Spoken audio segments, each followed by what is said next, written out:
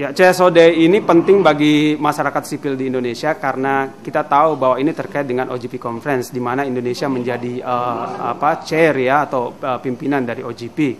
kita ingin agar uh, chairmanship Indonesia dapat meningkatkan uh, kualitas transparansi, partisipasi, akuntabilitas dan inovasi di Asia Pasifik. Kita ingin agar uh, pemerintah Indonesia mengangkat isu uh, anti korupsi dan juga isu-isu keterbukaan, akses informasi dan terusnya itu sebagai isu yang penting di Asia Pasifik. Nah, kita berkumpul di CSOD sebagai suatu semangat kolaborasi yang juga merupakan mungkin yang uh, kesekian kalinya di Asia Pasifik, tetapi di dalam inisiatif OGP merupakan yang pertama. Karena itu kita ingin menghasilkan satu uh, dokumen yang konkret kepada uh, pemerintah di berbagai negara di Asia Pasifik yang menjadi anggota OGP, sekaligus juga menyiapkan dokumen tersebut sebuah uh, rekomendasi yang akan diserahkan kepada uh, steering committee sebagai pelaksana da dari OGP dan juga kepada chair uh, OGP itu sendiri tiga isu utama yang menjadi perhatian masyarakat sipil. Yang pertama terkait dengan uh, promosi dan perlindungan terhadap eh, ruang-ruang uh, uh, sipil atau kebebasan sipil. Yang pertama uh, misalnya uh, kita lihat bahwa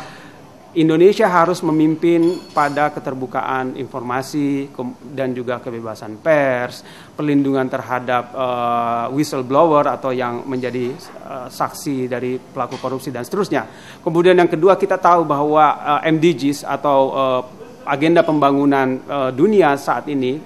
uh, banyak terhambat oleh persoalan governance dan persoalan korupsi sehingga dampak pembangunan yang dirasakan oleh warga menjadi sangat terbatas karena uangnya dikorup dan disalahgunakan.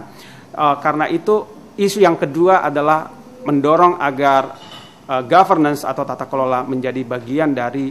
uh, post uh, 2015 agenda pembangunan uh, global. Yang ketiga kita ingin agar Indonesia di dalam kepemimpinannya juga memperbaiki compliance atau uh, uh, adanya internal mekanisme yang memungkinkan misalnya anggota member yang melakukan uh, pelanggaran uh, ataupun kurang menghormati hak-hak sipil di berbagai negara anggota OGP menjadi uh, lebih baik atau bisa diberi sanksi apabila melakukan pelanggaran.